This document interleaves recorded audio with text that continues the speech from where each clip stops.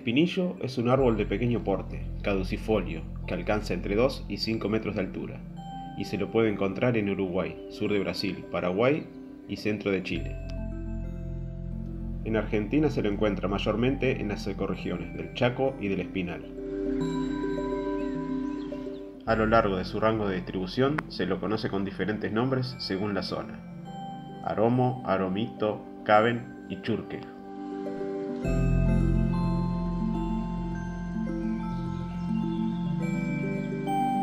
Su tronco es breve, tortuoso, de corteza castaño oscuro, con profundas grietas longitudinales.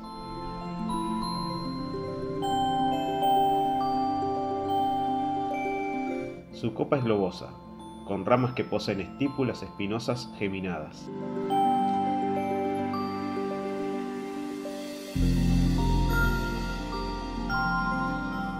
Las hojas son bipinadas, formadas por 3 a 15 pares de pinas y 1 a 3 centímetros de largo, con numerosos folíolos opuestos con borde entero, de solo unos milímetros de longitud. Las flores son hermafroditas y actinomorfas. Crecen en cabezuelas globosas de color amarillo dorado, de un centímetro de diámetro, que desprenden un agradable aroma que atrae mucho a insectos polinizadores. Florece en primavera, entre los meses de septiembre y noviembre.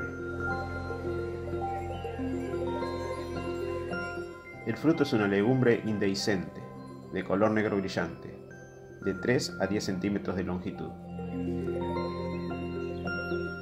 Fructifica de noviembre a marzo y los frutos perduran todo el año.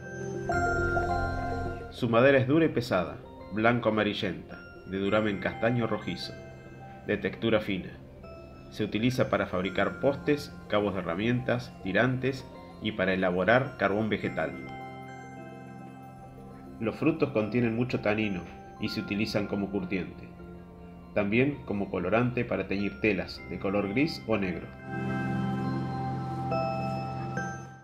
Con las cenizas se puede elaborar jabón. La infusión de la corteza en gárgaras sirve como expectorante.